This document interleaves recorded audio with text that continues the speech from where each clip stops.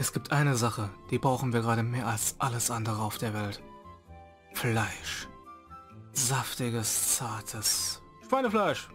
Alternativ auch von einem Dalmatinerschwein oder nein, Kuhschwein, wie ich ja vor einiger Zeit gelernt habe. Ja, weiter geht's mit Let's Play Umihara Cover the Fresh. Wie gesagt, wir brauchen Fleisch, denn ohne Fleisch kein neues Item auf der Speisekarte. Wer darf sich wieder um die Arbeit kümmern? Natürlich wir. Immerhin arbeiten wir hier. So, du bist ein reisender Koch, richtig? Mhm. Würdest du dann etwas für mich zubereiten? Hm. Vielleicht sollte ich etwas Neues machen. Ein Gericht, das man auch hier liefern könnte. Ich glaube, ich mache dir einen Hamburger. Oh ja, du sprichst genau meine Sprache. Auch wenn ich schon ewig keinen mehr gegessen habe, aber hey, ein Hamburger hier und da, warum nicht? Lass mich mal losgehen und alle Zutaten sammeln. Der Ort ist ja inzwischen allgemein bekannt, wo wir eine ganz große Packung Schweinefleisch finden. Und mit Packung meine ich ein paar wilde Schweine, die gleich anschließend durch den Fleischwolf gedreht werden. Yay! So, Tomaten müssen auch her. Ich kann mich da echt nicht dran festhalten. Ach, haha. Ich bin aber wenigstens jetzt einigermaßen vorbereitet auf ähm, diese Aufnahme. Sonst sage ich ja ganz gerne, ach, jetzt habe ich wieder eine Woche Umihara Kawase nicht gespielt. Jetzt ist wieder das ganze Fingerspitzengefühl so ein bisschen verloren gegangen. Aber nee, ich bin heute guter Dinge. Seht ihr, wie elegant ich heute alles hinbekomme? Und wenn ich weiterhin so eine große Klappe habe, wird das schon bald mein Untergang sein. Oh nein, diese elende Miesmuschel. Egal, wir haben unsere Haltestelle bald erreicht. Du bist ziemlich hartnäckig. Möchtest du in meine Muschelsammlung mitkommen? Da habe ich doch immer ein kleines bisschen Platz. So. Ihr kommt mal alle mit. Nur das, ähm, ja, Kuhschwein ich kann nicht glauben, dass das ein echter Ausdruck ist. Das Kuhschwein, das können wir ja nicht einsammeln. Das hat uns noch ein gutes Stück voraus.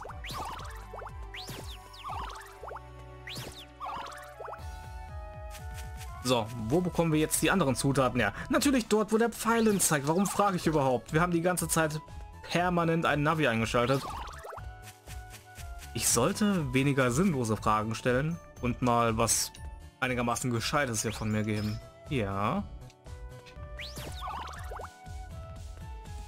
Ah, ein bisschen Geschwindigkeit aufbauen. Let's go. Uh, die Tomaten habe ich schon mal mit Ach und Krach so wiedergefunden.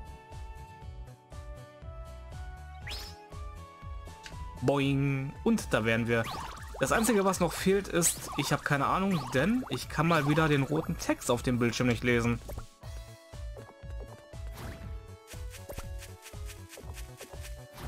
Von meinem Display hätte ich eigentlich ein bisschen mehr erwartet. Ich... Das würde ich mal euch fragen, wenn ihr euch die Aufnahme hier anschaut. Der rote Text da oben in der Ecke, könnt ihr den lesen? Denn bei mir auf dem Bildschirm kann ich je nachdem, wo ich mich gerade aufhalte, nicht so gut lesen, was da steht, weil es etwas verschwommen ist. Eigentlich war ich der Annahme, dass ich das nicht überleben würde. Und außerdem dachte ich, dass mein PC-Bildschirm doch ein bisschen mehr taugen würde. Das ist vergleichbar mit dem 3DS-Display. Der hat nämlich auch so eine ja, Schwäche, wenn es darum angeht, die Farbe Rot deutlich anzuzeigen. Also hauptsächlich, wenn es um Schriften geht.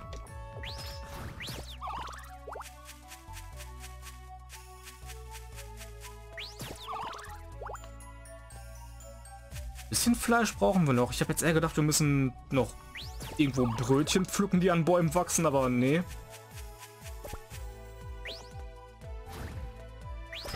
Ein Hamburger wäre wirklich hervorragend, denn guck mal, unsere Hungerleiste, die sagt schon wieder, hey, Umihara hat Hunger, fütter sie. Das... Was hat mich da getroffen? Ich hab's nicht gesehen. Ein Frosch. Nein, Frogger. Wir machen heute Hamburger, keine Froschschenkel. Du darfst trotzdem gerne in meinen Rucksack mitkommen. Extra Zutaten sind doch immer willkommen.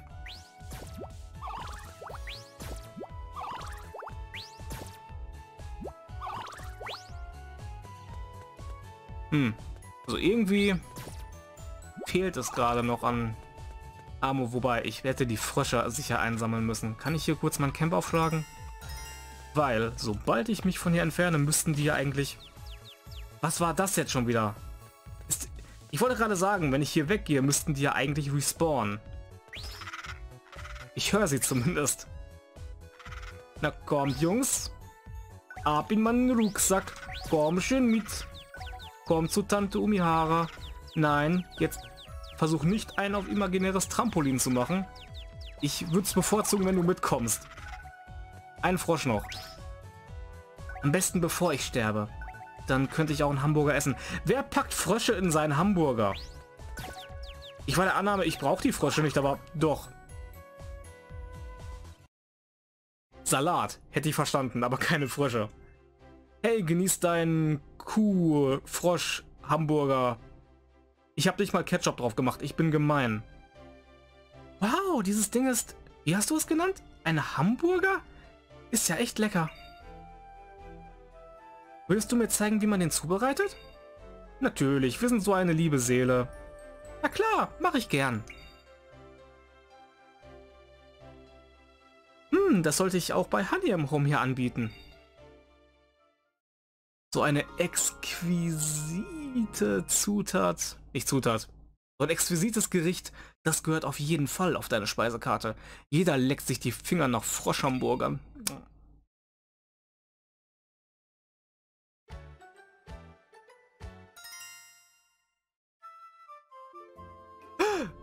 Ich glaube, wir sind dabei, einen schweren Fehler zu begehen. Der Titel der nächsten Mission deutet darauf hin.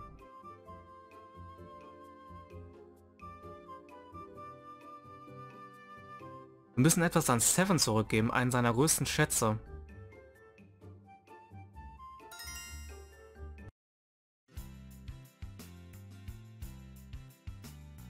Was ist denn los? Oink. Ich bin auf dem Weg zurück von einer Auslieferung. Oh, und ich dachte, du würdest ja ein bisschen mit mir faulenzen. Oink. Hey, ich habe ordentlich Zeitdruck.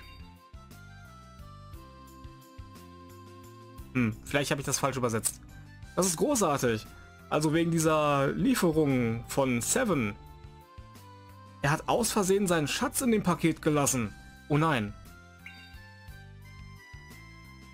Ach, er ist schon ziemlich sorglos. Oink, oink. Glaubst du, du könntest ihm das zurückbringen? Ich glaube, das kriege ich schon... Ne, Moment. Ich glaube, das kriegst du schon selbst hin. Ha! Und du hast gerade für eine Sekunde gedacht, ich nehme dir die Arbeit ab. Was ich auch gleich tun werde, aber ich wollte dich ein bisschen in den Dreck ziehen. No. Er schaut traurig, da müssen wir doch natürlich helfen. Was? Ich habe gerade ordentlich Streit mit ihm, also könntest du anstatt meiner hingehen? Ah, da habe ich wohl keine Wahl. Nein, wir haben nie eine Wahl. Wir müssen uns immer um die Sorgen anderer kümmern. Auch wieder ähnlich wie bei Animal Crossing. Ich sehe immer mehr Parallelen. Meine, eine Stadt voller Tiere, eine Angel, ist genau wie Animal Crossing.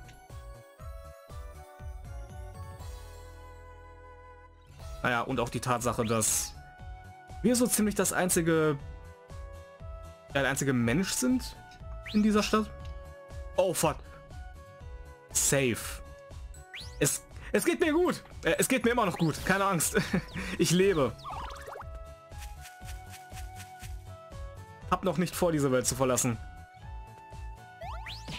Ich habe noch so viele Spiele, die ich bekommen kann. Und ich rede hier aus der Perspektive von Umihara.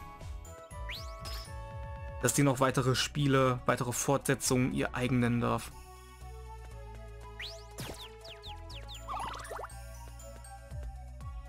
Einmal bitte wieder den Aufzug in Richtung Damenunterwäsche, Videospiele und Alkohol. Was für eine Kombination. Langweilig. Ich bereite mich vor auf einen großen Moment. Ich knie mich dahin wie der Terminator, als er aus der Zukunft in die Vergangenheit zurückkommt. Oh Gott. Kennt überhaupt noch irgendjemand von euch Terminator? Ich meine die alten.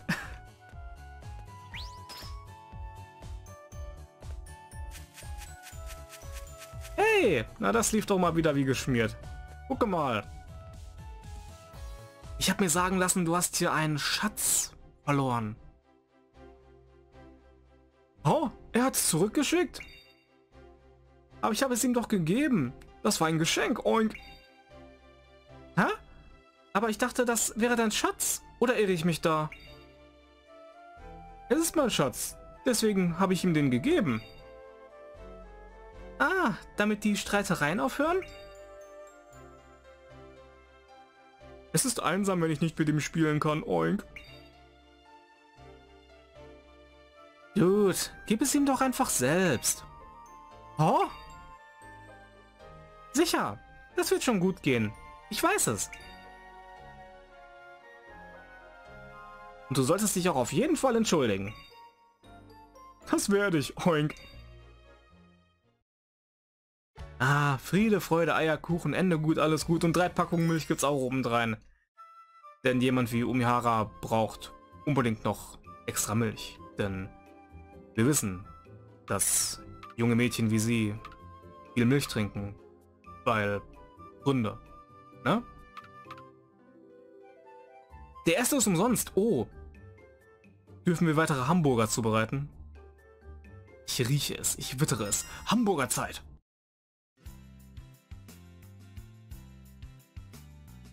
Wir haben gerade einen Anruf von Brenda erhalten. Halt, Moment. Ihr habt Telefone. Okay. Vielleicht haben sie sogar Smartphones, wer weiß. Sie hat gefragt, ob wir eine Lieferung an den Arbeitsplatz ihres Mannes liefern können. Sie ist ein guter Kunde, also lege ich mal einen gratis Hamburger bei.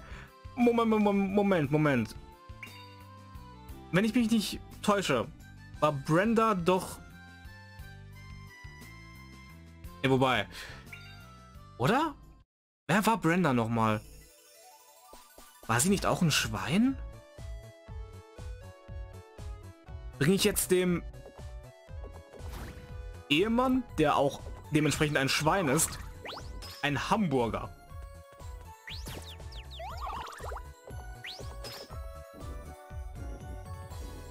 Will ich plötzlich über Kannibalismus reden? So richtig wäre mir nicht danach.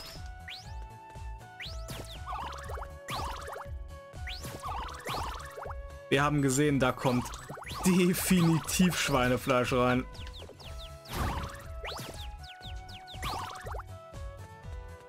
Aber wer weiß, vielleicht gibt es eine ganz humorvolle Interaktion, weil wir ihm einen Hamburger andrehen wollen. Da bin ich mal auf sein entsetztes Gesicht gespannt.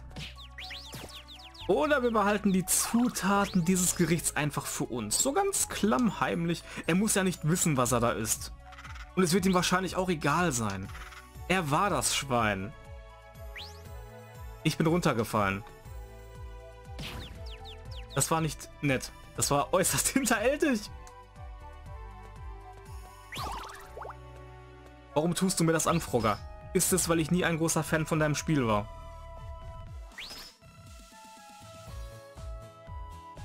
Hätte einfach sein können. Ich hätte schon längst oben sein können. Wir...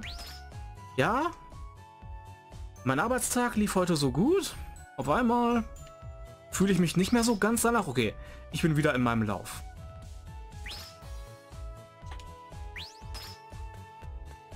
Ähm, bevor ich dir Nahrung deiner eigenen Rasse andrehe, gib mir noch deine Tomaten und dann genieße das, was ich dir mitgebracht habe, mein Guter. Gib deinem Töchterchen auch noch was davon. War es ein Töchterchen? Ich meine, es war ein Töchterchen.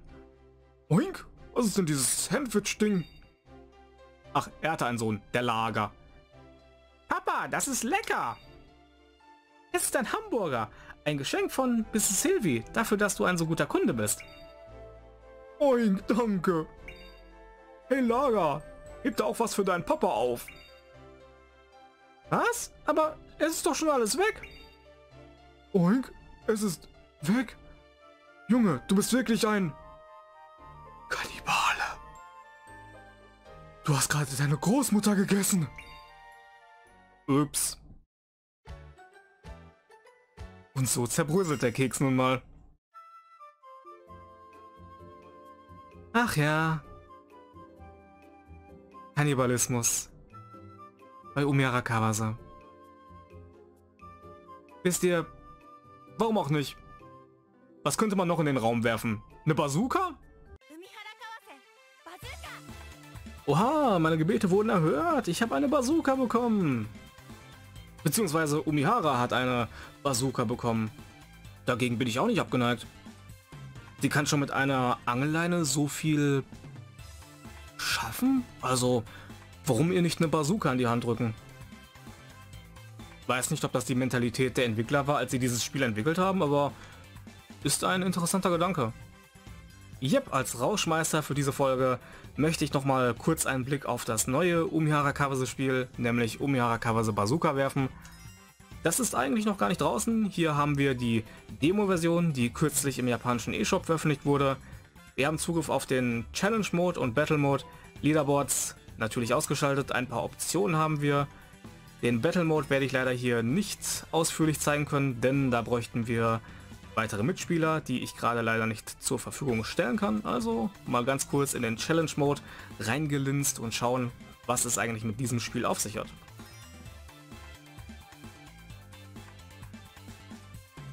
Bin ich der Einzige, der sich gerade dezent an Smash Bros. erinnert fühlt, wie der Charakterauswahlbildschirm aussieht? Ne, nur ich. Hätte ja sein können.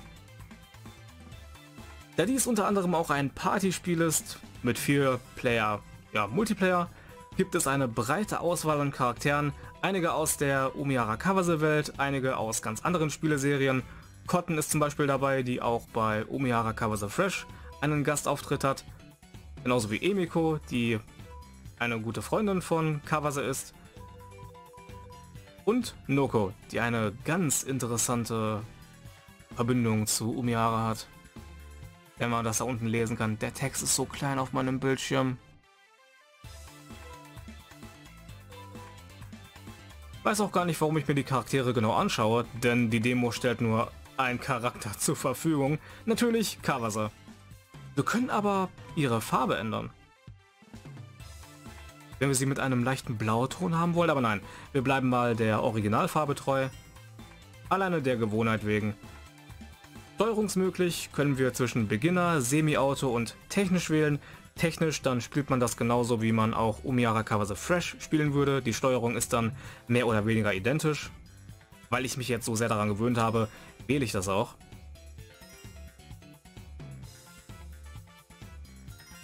Die ganze erste Welt steht in dieser Demo zur Verfügung. Wir fangen einfach mal von vorne an und ziehen uns die ersten beiden Level rein. Wir fangen hier in diesem kleinen, ja, schon Puzzle-Bubble-ähnlichen Shooter an, sage ich mal. Dieser kleine Kreis, der uns in die Arena feuert und dessen Richtung wir frei bewegen können.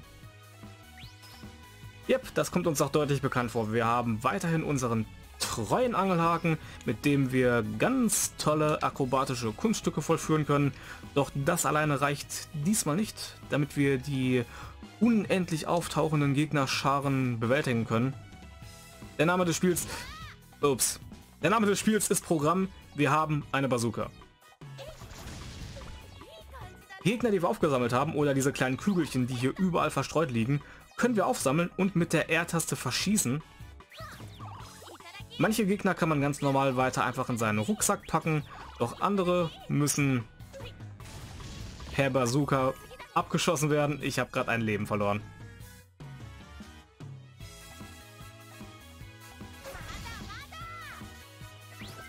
Eine Stage ist geschafft, wenn man eine bestimmte Anzahl an Münzen gesammelt hat.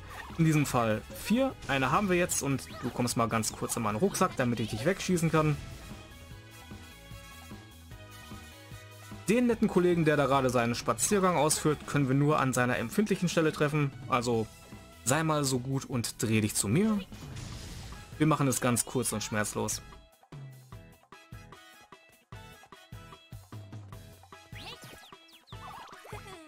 Ihr seht, das Ganze ist wesentlich simpler gestrickt als das Spiel, was wir vorhin noch gespielt haben, was ja ein Hauptteil der Umiara Kawase-Serie ist.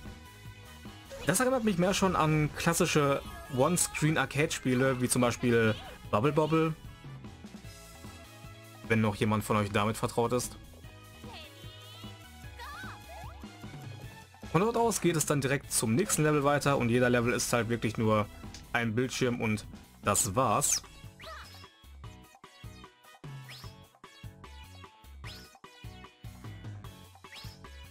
Hier kann ich mir absolut bildlich vorstellen, dass das im Multiplayer ein absoluter Kracher ist, wenn da wirklich vier Leute gleichzeitig umherwuseln und das totale Chaos sich entfaltet. Wäre wirklich schön, wenn ich diese Erfahrung noch bei Gelegenheit machen kann. Ich gebe mich aber vorerst auch mit einem Zwei-Spieler-Spiel zu, äh, zufrieden. Na, da hänge ich wieder so ein bisschen fest.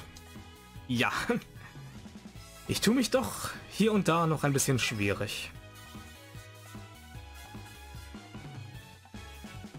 Dreh dich doch mal um. Danke. Oh, ich habe ja gar kein Projektil. Gut aufgepasst.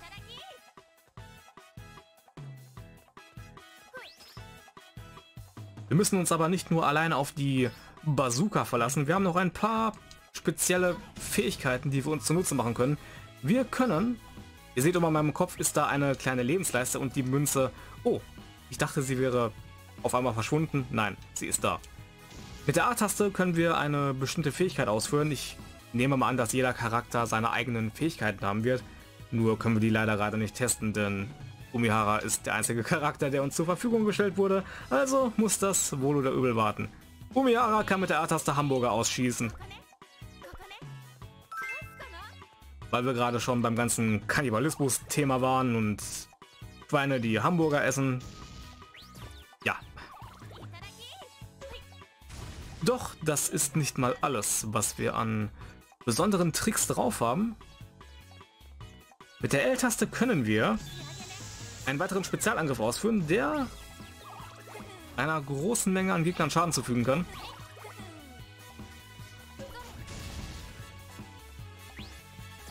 Unendlich oft kann man diese Fähigkeit nicht einsetzen. Unten seht ihr vielleicht diese kleine Leiste, die in drei Bereiche aufgeteilt ist. Jedes Mal, wenn wir mit Hamburgern um uns werfen oder diese spezielle Fähigkeit mit den drei Projektilen ausführen, wird diese Leiste nach und nach geleert und füllt sich dann mit der Zeit auf.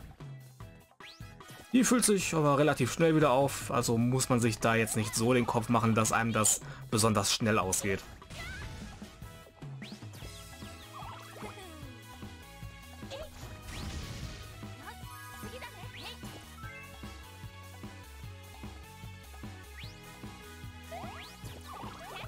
Wenn das Spiel dann nächsten Monat rauskommt, ich würde mir auch gerne die Vollversion bestellen und dann ein ausführlicheres Video dazu machen. Momentan kann man nur schwer sagen, wie das mit den Importzeiten ist. Da werde ich mich wohl oder übel in Geduld üben müssen, aber das kriege ich auch noch hin. Falls ihr es nicht gemerkt habt, ich bin gestorben. Das Spiel hat es nochmal bestätigt, damit da auch keinerlei Zweifel auftauchen. Kommen wir noch ganz kurz in meine Arme, damit wir auch noch... Oh, und niemals vergessen, die Uhr tickt. Vorhin bei meinem Probespiel habe ich das schon vergessen. Wir dürfen niemals den Timer aus den Augen lassen.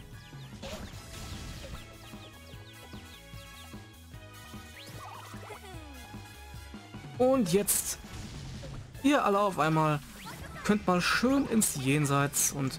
Oh nein. Noch 22 Sekunden. Ihr seid alle des Todes. Und ihr auch. Münze? Ah! In allerletzter Sekunde. Beziehungsweise in allerletzten 13 Sekunden. Und wie man das bei so einem Spiel erwartet, nach und nach werden dann weitere Gimmicks eingeführt. Hier haben wir dann noch Sprungbretter, die wir uns zunutze machen können. Genau wie diese Gegner, die ich anfangs nicht so richtig im Griff gehabt habe. Man soll sie mit einem Doppelsprung besiegen, das wird ja auch da oben angezeigt. Nur anfangs habe ich es nicht so richtig hinbekommen. Jetzt habe ich es hinbekommen, denn zuerst bin ich ja einfach mit einem schnellen Doppelsprung auf die drauf gesprungen und wurde dann immer wieder getroffen, bis ich dann gemerkt habe, ah okay, ich muss dann springen und dann im richtigen Moment von ihrer Rübe abspringen, damit ich sie besiegen kann. Alternativ, was auch funktioniert, man kann einfach auf sie zulaufen und dann schnell zweimal die B-Taste tappen und dann kann man sie auch so auf ganz billige Art und Weise besiegen.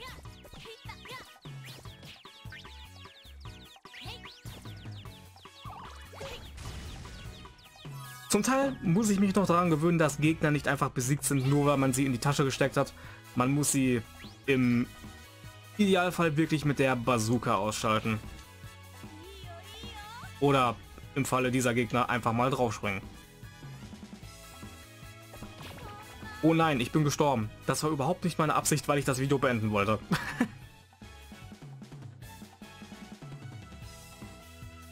Doch, bisher finde ich, macht das einen ganz spaßigen Eindruck. Nur möchte ich dann auch mal noch herausfinden, wie das im Multiplayer ist, ob das dann nochmal eine ganze Kante mehr Spaß macht. Also, bin ich mal gespannt, wie das so sein wird. Das war dann also die heutige Folge von Umihara Cover the Fresh mit einem kleinen Bonuseinblick in das kommende Spin-off Bazooka. Danke fürs dabei sein allerseits und nächstes Mal sehen wir uns mit einer weiteren Folge wieder. Wir haben schon 10 Folgen aufgenommen, fällt mir gerade auf. Wuhu, kleines Jubiläum, da hat sich das ja wirklich angeboten, dass ich noch dieses Spiel mit reingeworfen habe. So, jetzt aber genug palabert. Wir sehen uns in der nächsten Folge wieder. Macht's gut und bis zum nächsten Mal. Tschüss.